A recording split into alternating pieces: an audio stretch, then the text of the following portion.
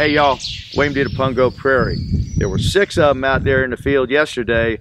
A good number of fish had become stranded there due to tidal flooding earlier in the week, and those eagles have been having one heck of a feast. So tell me y'all, how you making out with the lockdown? I hope you're doing well. Thankfully, there appears to be a decline in the rapid rate of increase in the number of folks that are being infected by this little demon. And I've been praying hard. I know you have too, especially for peace unto the families of those that have lost their loves, the tragedy of life cut short, and prayers of thanksgiving for an even greater number of folks that have already recovered. We are going to get through this thing. We're going to get through it, I promise you.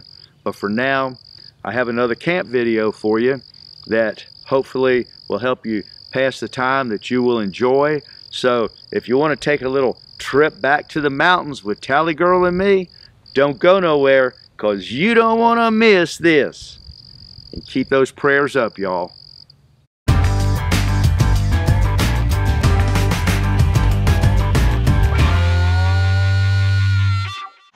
Tally Girl, oh my goodness. Camp's all broke down for another year. That was a long, hard day, wasn't it, baby? Breaking camp down. Enjoying one last campfire here of the season. Got some turkey legs smoking here on a little Weber kettle smoker. Good fire and a Pungo Prairie sunset. I cannot believe this weather. The 12th of January. Hey dog, it's been almost 70 degrees today. Beautiful day. Break camp. Little breeze. A lot of nice sunshine going on. Dry things out good so we didn't have to worry about wrapping up a wet tent. God's been good to us these last three months up here in the mountains, hadn't he, Tally Girl? Yeah, Daddy. I've been having a big time Yes, you have. Kept us safe through all those storms. Chimney blowing out of the wood stove. Gotta head home, back home to the Pungo Prairie tomorrow, baby. Daddy, do we have to? yeah, little girl, you have to. Daddy's got some business he has to take care of. I gotta sell some boats.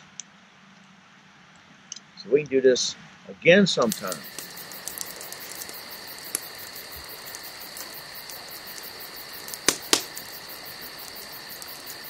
God's been good to us, hasn't he, baby? Huh? God been good to us up here these last three months? Yes, he has.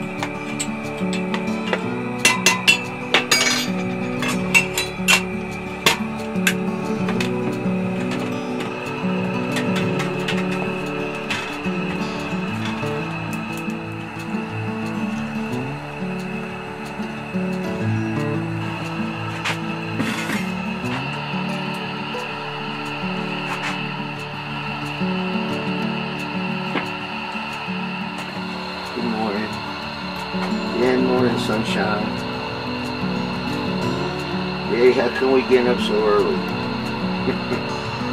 Daddy's going hunting, baby. You I get to stay locked up in the jail again all day? Yeah, maybe not all day, baby. Maybe the Lord bring Daddy a deer this morning early. A good night? You did. You had a good night. Square side. Square side.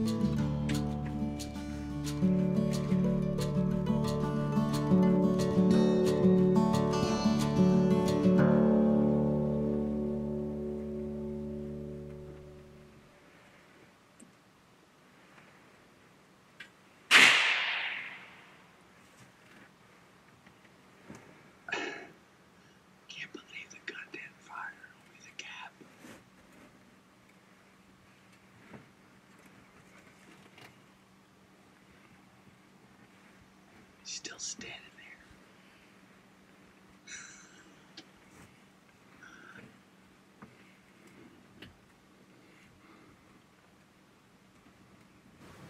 Left my capper at the camp.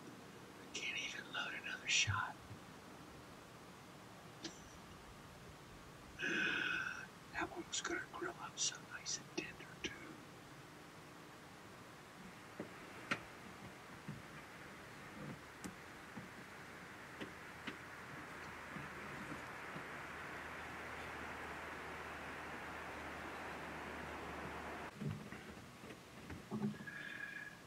Now he's going feeding.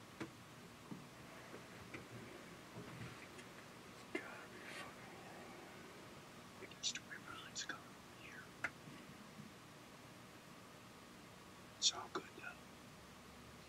Dylan grew up and live another year.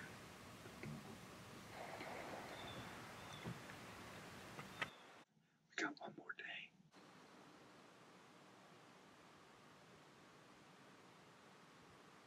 And that's as far as I got this morning on the trail with the mule, thanks to the latest little bit of wind we had going on here.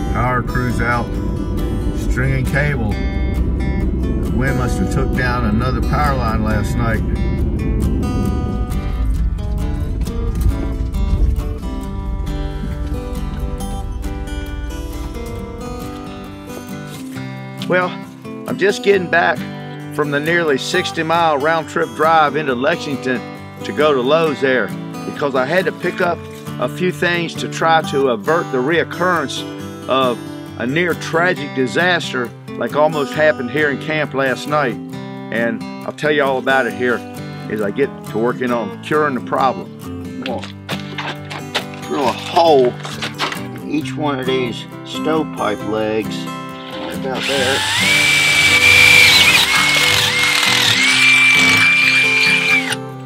See if I can create an anchor point.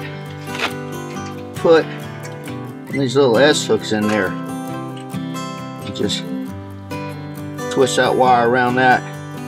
We'll have to remove our water tank to get to the other side. Okay, there we go. That'll work. Now a lot of stoves will have a collar welded here that actually sticks up about maybe three quarters of an inch or so where you could screw that pipe from the side, maybe three different points, and anchor it into that stove. But this stove is not like that. It's just about flush, and the, the ring is actually down inside. So my plan here is to take some of this 14 gauge wire, create two anchor points, one on either side, Wouldn't hurt to have three, except that I don't have anywhere to anchor it on the third point. I have only those two legs to go into. So we're going to anchor the cable here, run it down along the side of the stovepipe, and in through the thimble. And then we're going to put a couple of these hose clamps on it once we get inside. Might want to put one up here too to keep the wire tight to the stove and then adjust the tension and tighten it up by installing these turnbuckles. And hopefully it's going to keep that stovepipe secured down into that stove so we don't have a reoccurrence like we did last night. And truthfully, the wind was only forecast to be gusting up to 45, so they say. And we've been through a whole lot worse than that through these past 20 some years. I've been setting up this camp in this combination, tent and stove. And we've been through 60, 70 mile an hour wind gusts and never had anything like that. And last night, it could have been tragic.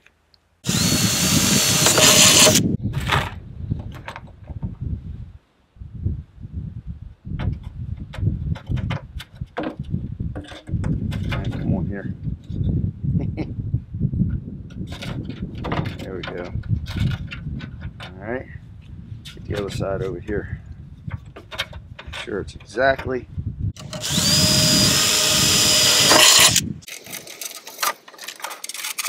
All right, hook that right there. And down here, see how much wire we're gonna need. to Get down this stove pipe right here we're just going to make us a nice loop here with a haywire twist. Y'all know what a haywire twist is right? I know if you're an offshore fisherman you do. The way to get an even one is you try to twist the loop dead of the wire so much. Nice even twist if you can because that is where your strength is. A nice even twist. Okay now we're to finish it off with a nice little barrel wrap. I don't know if I can do it. This heavy gauge wire here. But what we used to do with the fishing wire you just kind of bend a little tag in it, twist that wire back on itself, and it should break off. If not, we'll use the pliers. So this is a little softer wire than we would use for fishing. And it might not do that. See, if that was fishing wire, it would have been snapped in like two twists. But we're just to cut it. Now, I got this hose clamp here. Thought it might help to secure our wire along the, uh, the chimney. Get our other one. Slip it up through here. There we go. Slide it on down there. Make some adjustments here. Then we can go with our S hook. On down. Get this one. On down. We'll make the whole thing go a little bit smoother maybe, huh? keep that everything in place. Now I want to keep this right about there so I get good tension. I don't have that little gap, good tension on my wire. Now, these are tapered pipes, so I can slide this down here a little ways before I start tightening it up. All right, I don't have a end driver, nut driver, so I have to use this screwdriver. If we bring this loop here about midway on the second section of pipe, that'll give us probably a nice taper going off the sides of our stove where we'll get a good tension. So we're to guess that that's to be right. This time, we're going to turn our loop through the eye of our turnbuckle here. The next trick is to see if we can get it through that hole with all that extra stuff hanging out of it. Take another little piece of wire here. I kind of guesstimated the length from the S hook on the leg where we drilled our hole. And we're just going to make a twist on this one for that S-hook. All right, we got that loop. Now what we want to do here is very important is to run our bolts, our eye bolts, all the way out from the body here of this turnbuckle because we want to have plenty of room to tension and tighten this wire up. So we want to give ourselves as much play as we can in the turnbuckle. We want to get them till they just barely come out of there, then start to thread them back in. See, like that? Okay. Then we'll just get it started. Okay. All right. Okay, we got the end that we twisted for our S-hook. Put that right on our S-hook and bring it up. Run it through our extended turnbuckle, like so, so we can get the proper length, crimp it right there. And then we can crimp it over right there in our turnbuckle like so. And that way, it's going to make it a whole lot easier to do our haywire. Actually, I don't need all this extra. I'm going to cut some of that off. Make it even easier. All right, now we got that little haywire to make right there. Just barely started here. That's a reverse thread. That's the way these things work. We should have just enough slack to reach our S hook and we can tighten up our turnbuckle. I want to try to keep equal tension so we're pulling down with the same tension on both sides. Now I'm going to tell y'all something. If that wind blows that pipe out of here now, I'm going home and I ain't never coming back. I'm taking Tally Girl with me. Alright, it's nice and secure at the top. At least it appears to be. I can put a little bit more tension on that left-hand wire. So I can hear a lot of y'all saying right now, hey Dixon, why don't you just put a smoke detector in the tent? That's a good point. But if I put a smoke detector in this tent, it'd be going off every time I open the door to put a stick of wood in the stove. Alright, I put one more hose clamp here on the pipe to keep the wire tight to the pipe so it's not coming off at an angle because when that wind gets really howling I don't want it to saw a groove in my silicone uh, stovepipe thimble here. It ain't tight as a banjo string, maybe a bass fiddle, but it's tight enough to keep that pipe from lifting off of there, I hope. Yeah, girl, about some of nephew Justin's Church Point fried oysters, fresh from the Lynnhaven River. Here's a little oyster farm. Nice panko breadcrumbs going on. Perfect color. All right, perfect. That right there is oyster heaven. Some of that skillet cornbread and these oysters. Oh my goodness. This is going to be one amazing meal here alongside Bratton's Run. Set it all right over here. Got some melted butter. A little extra candlelight. Some hot sauce. And we are ready to eat. So here's what happened. Tally had awakened me from sound sleep as she leaped upon my cot, bounding on top and over me. What I hadn't realized or heard in that instant was the crashing down of the stovepipe, which had scared the bejeebies out of her. She had been sleeping on the other cot beside the stove. I just cuddled her and tried to drift back to sleep. After some time, I got up to shake the dew off my lily. It was then I nearly tripped over the stovepipe. At the same instant, seeing the fire burning, looking straight down into the top of the stove through the hole where the pipe belonged. How could the tent not be full of smoke? How were the flames not shooting up through the top of the stove, given now the abundant oxygen supply? More than 20 minutes had passed since Tally Girl leaped on top of me. I was awestruck. What I was witnessing was impossible. It just couldn't be. There was just no way. There could be no smoke, much less no raging fire in the tent. I trembled as I realized an angel had been dispatched to camp to watch over us, keeping the fire and smoke in check until I became aware of the situation. I put the pipe back into the stove and laid back down on my cot beside Tally. Ten minutes later, another heavy wind gust lifted the pipe again, sending it crashing down. In the instant it took me to spring up from my bed and shove the pipe back into the stove, the tent completely filled with smoke. It took another 10 minutes with the door wide open to clear it out. I have not even the slightest doubt there was an angel among us in camp. Maybe the Lord was just looking out for Tally Girl and trying to get a message through to me.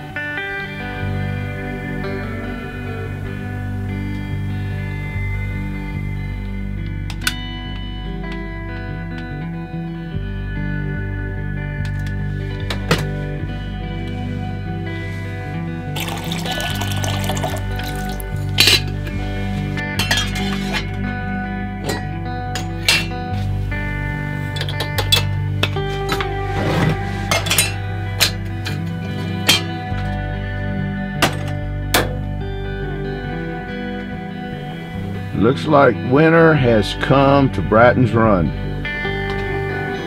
Before we could even get the coffee finished perking. oh my goodness. It's a snowy Tuesday morning here, isn't it, Tally Girl? What is that, baby? you eating the snow? We should have covered a wood pile.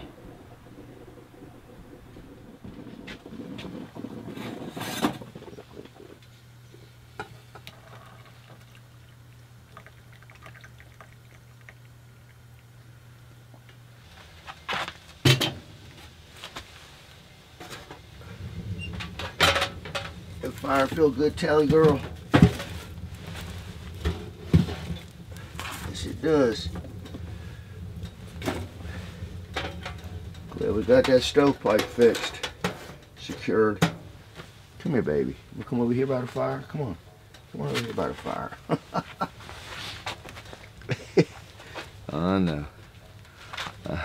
no. That fire feels good this morning, Daddy.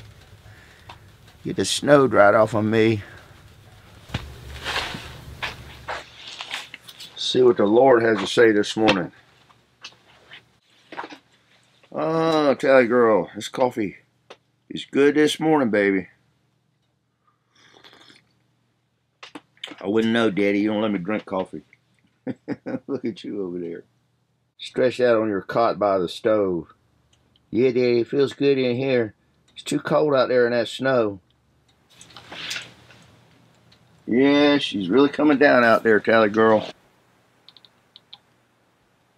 Supposed to snow heavy. They say for the next three or four hours anyway. What is today? January 7th? Already. Huh. It's hard to believe it goes by that quick. What did I write here? 2013. 2013, that's seven years ago. 10 degrees this morning on the Pungo Prairie. Kitchen sink faucet froze up. I guess it was. 10 degrees. That's cold at home, Tally girl. Yeah, Daddy, I'm glad we're here in the mountains by the wood stove where it's 30, 28 or 30. It is impossible to praise or thank me too much. As it is written, I inhabit the praises of my people. I reckon that's Psalm 22, verse 3.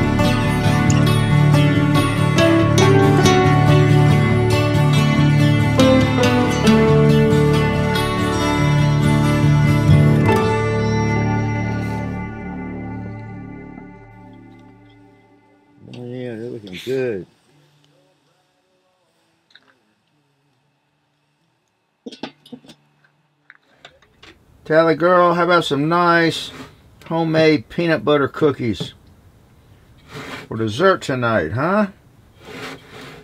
Right in the oven in our cake pan since we don't have a cookie sheet. Oh yeah. See if we get these out of here. Let them finish cooling on this little cooling rack here.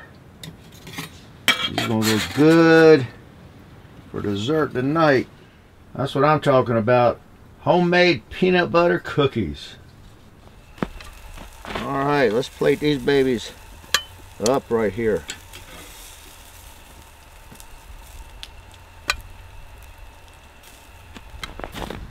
All right, our potatoes should be done.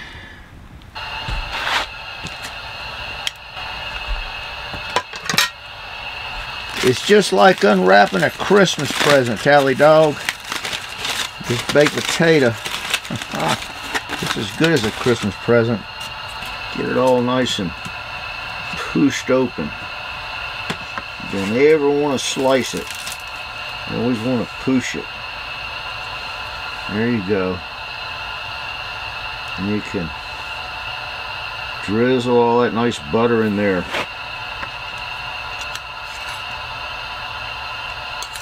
One of our nice pork steaks.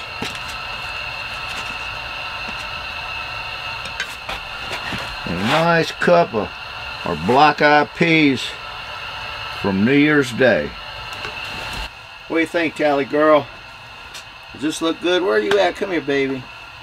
Huh? Did we have us a good day? Yes, we did. We had us a good day. Let's pray.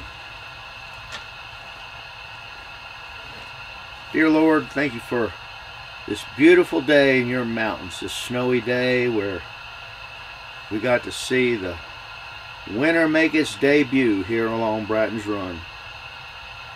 Just something so magical about snow in the mountains, a little brown dog, and living in a tent. Pray now that you'll just bless this food and nourish our bodies and strengthen us for a life in thee. We'll have a good evening, a restful evening, sitting by the campfire, enjoying just your majestic night under the stars in this snow. Through Jesus we pray. Amen. So what do you think, Cal? You ready for some pork steak? Yeah, Daddy, I'm always ready for pork steak.